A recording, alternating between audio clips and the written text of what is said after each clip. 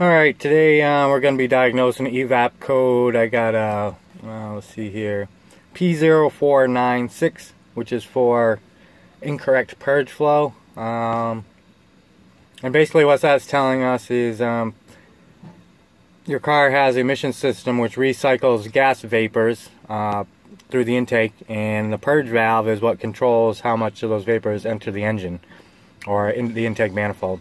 Basically this is telling us that for one reason or another we're getting a flow when we shouldn't be getting a flow. So more than likely we have a purge valve that's failed on this truck so that's going to be the first thing we check. Um, if that's not the problem then we'll no further diagnostic but um, I like using this little handheld tool just to check and clear codes real quick. I'll leave a link to this in the video description below. It's pretty handy. I think they're like 50 bucks on Amazon. But um, you can check all your monitors. There's no data, but honestly, the whole reason I got this because it's quick, it's easy, it's got a nice little short cord on it, and um, all that good stuff. But Alright, so let's go under the hood here and I'll show you how we're to check to see if this purge valve is leaking. And also at the end of this video I'm to do a bench test on this purge valve, so uh, be sure you watch to the end.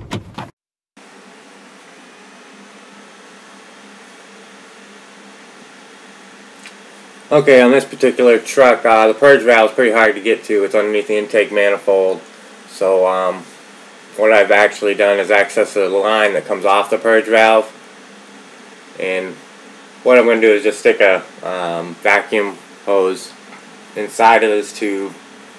And I'm actually, yeah, see, I'm just going to take this vacuum hose. I'm going to put inside there. I'm actually going to blow inside this to see if... Uh, I can blow through the valve and if I can that indicates the valve is bad because those valves should always be shut. Um, I'm also going to try and suck through it too to see if it see if it seals either way.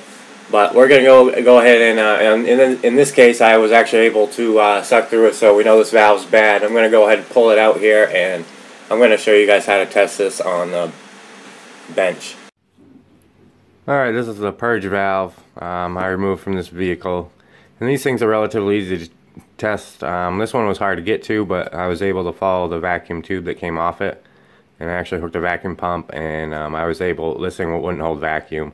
Um, when you test them, you just want to make sure you're testing it in the flow that is designed to flow. Because if you're pulling a vacuum on on the side where the pressure is going into, you may be, you may open that plunger plunger, and it will seem like it's failing when it's really not.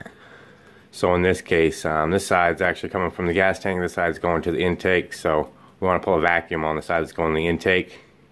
And um, if it holds vacuum, it's good. If it doesn't, it's bad. Or you can put pressure on the side that's coming from the gas tank. If you put pressure on this side and it doesn't hold pressure, um, then this valve's no good. In this case, um, I actually just, once I got it out, I verified it just by uh, cleaning it up and, and blowing through it. And I was actually able to physically blow through this purge valve. So um, this is bad.